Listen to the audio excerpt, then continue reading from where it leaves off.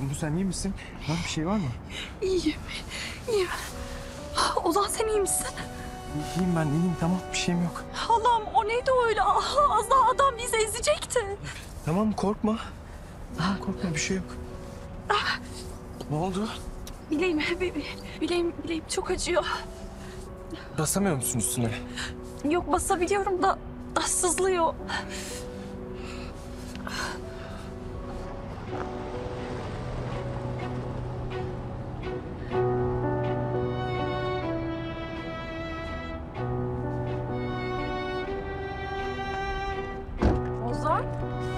Oldu siz iyi misiniz? Sedef senin ne işin var burada?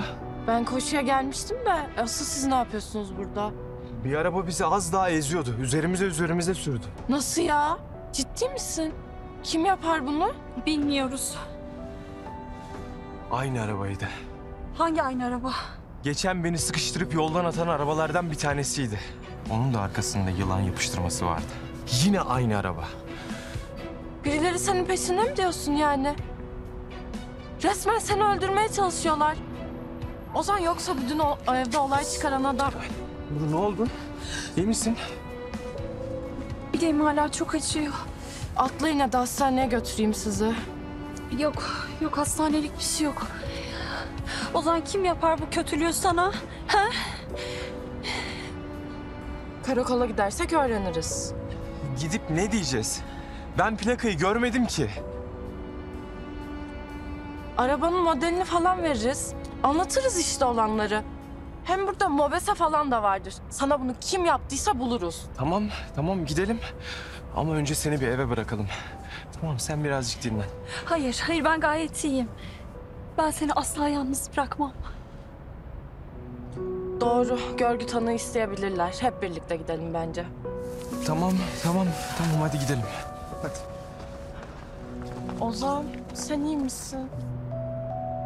Ödüyor mu? İyiyim ben Sedef. Bir şeyim yok tamam. Gidelim hadi. Kıyamam ya. Resmen nazar değdi sana.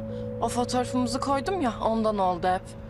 Herkes bizi konuşuyor. Gözleri kaldı tabii. Hadi Sedef hadi. Gidelim. Ben kullanırım arabayı.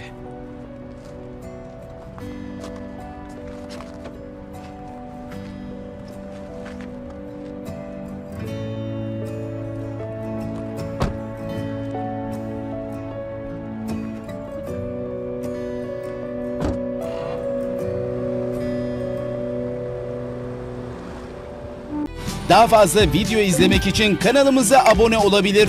İlk izleyen olmak isterseniz bildirimleri açabilirsiniz.